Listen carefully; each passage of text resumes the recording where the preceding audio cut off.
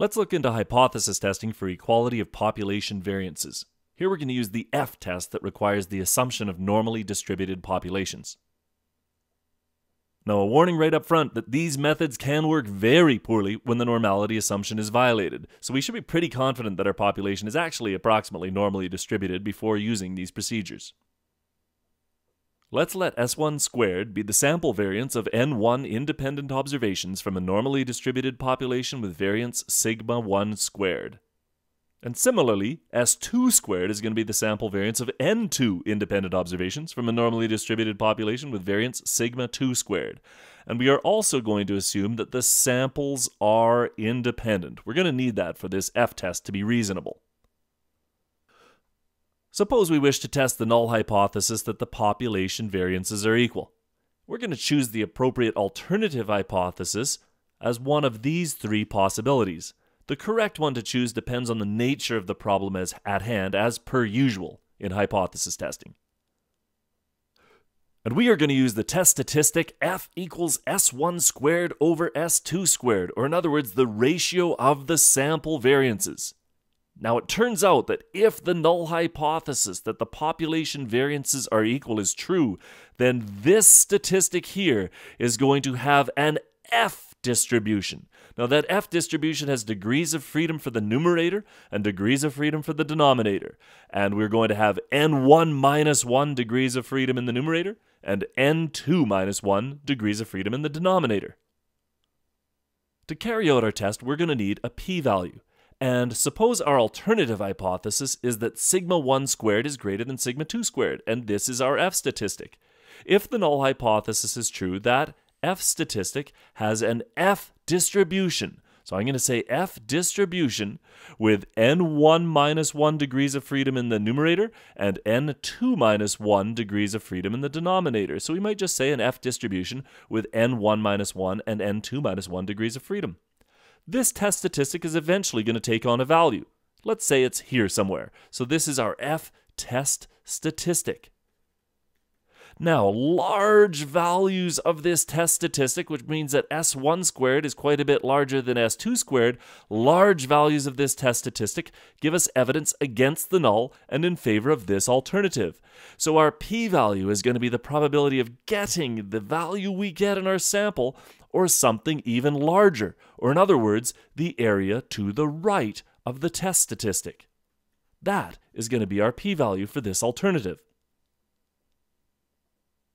And if our alternative is in the other direction, then we're going to use, well, a similar type of logic. Here's our F distribution again. That's our F distribution with the appropriate degrees of freedom. This F statistic is going to take on a value. So let's say this is our F test stat here. But in this case, the smaller the value of the F statistic, the greater the evidence against the null and in favor of this alternative. If F S1 squared is quite a bit less than S2 squared, then that's going to give some evidence against the null and in favor of this alternative. So our p-value is going to be the probability of getting this value that we get in our sample or something even less, or in other words, the area to the left. That is going to be our p-value for this alternative hypothesis. And if our alternative hypothesis is two-sided, then values of our test statistic far out in the right tail of the distribution or far out in the left tail of the distribution give us evidence against the null hypothesis. And so suppose that this F statistic takes on a value somewhere here. And again, I'm just going to call that my F test stat. Well, values way out in the right tail give us strong evidence against the null. Values way out in the left tail give us strong evidence against the null. So what we're going to do is we're going to consider this area to the right of the test statistic, and we're going to consider this area to the left of the test statistic.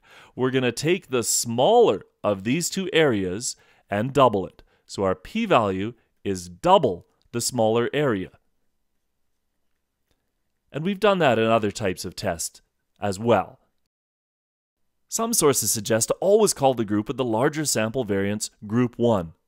What this does, if we consider our F-test statistic, is the ratio of the sample variances here. If we're always calling the group with the larger sample variance Group 1, then this S1 squared over S2 squared is always going to be over here somewhere in the right tail of the distribution.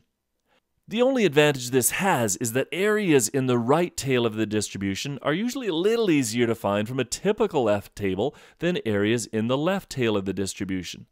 So it doesn't really matter in the grand scheme of things as long as you keep everything straight in your head, as long as you still follow that same p value logic that I outlined above. But if we're using a table, it can sometimes be easier to do it this way, so you're going to have to consult with your professor or your textbook to see which way they want to go about it. Let's look at an example. Do 850 gram cereal boxes have greater variability in their weight than 475 gram boxes? Well, this 850 is what it says on the package, and 475 is what it says on the package, but there is some variability in the weight.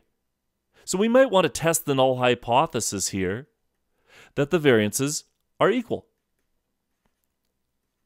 And suppose this is our variance of our 850 gram boxes. What would we choose for an, an, alternative hypothesis? Well, that depends, and it's debatable in different spots, but one thing we might consider here is that very often in the real world, variance tends to increase with the mean. The variability of elephant weights is certainly a lot more than the variability of field mouse weights. And in this spot, then, it might be reasonable to think that the variance is going to be greater in the 850 gram boxes than the 475 gram boxes. Or maybe there's no difference, but it's probably quite unlikely that the variance in the 475 gram boxes is actually greater. So, depending on one's perspective on things, we might choose this alternative hypothesis that sigma 1 squared is greater than sigma 2 squared. Or, in other words, the variance in the 850 gram cereal boxes is greater than the variance in the 475 gram boxes. And suppose we feel it's reasonable in this setting to choose an alpha level of 0.05. We could choose a different value of alpha, but suppose we feel it's reasonable here to choose that one. Now here's some data I collected on my favorite type of breakfast cereal. I got some samples here of 850 gram boxes and 475 gram boxes. I got sample of size 4 of 850 gram boxes, which is not a very large sample size at all, but I got 15 of these 475 gram boxes. And I went through and weighed the cereal in these different boxes, without the box, without the bag, but we got our sample variances here and we might want to carry out that test we discussed above, testing the null hypothesis that the variances are equal. And against our alternative hypothesis that the 850 gram boxes actually have a greater variance. And so we get our F statistic. And our F statistic is simply the ratio of the sample variances.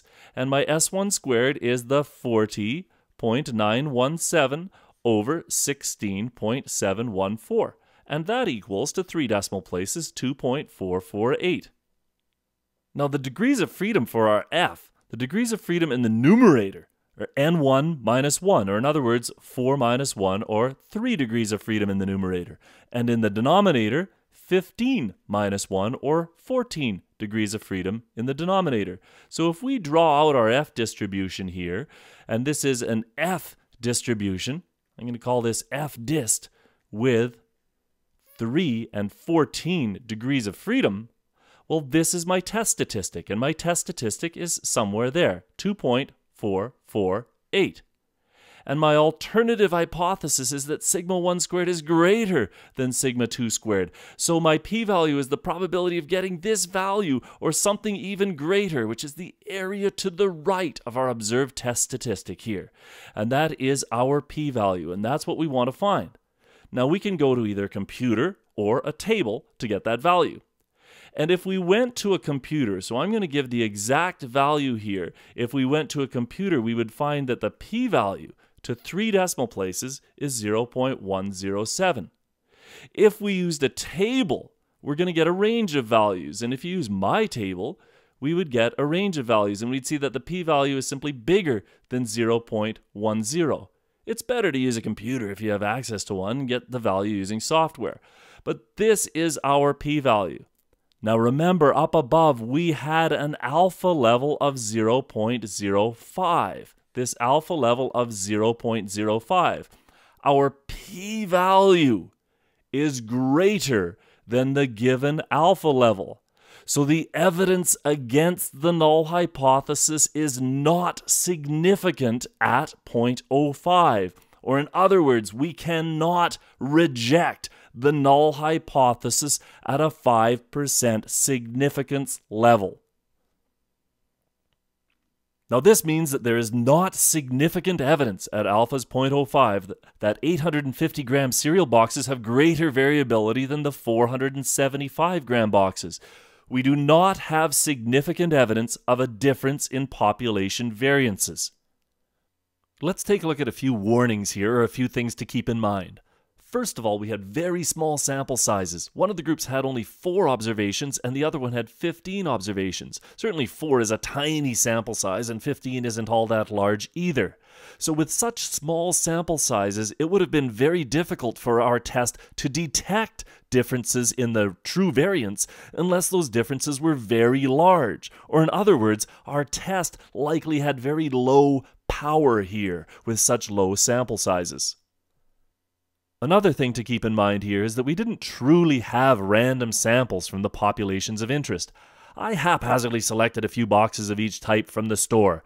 Now, there might not be any obvious biases there, but anytime we don't have real random samples from the populations of interest, well, extrapolating out to those populations is a little bit dubious. And also, as I mentioned right off the top, this test does not work very well when that normality assumption is violated. And we didn't investigate that normality assumption. We should typically investigate that normality assumption using appropriate plots before carrying out tests like this.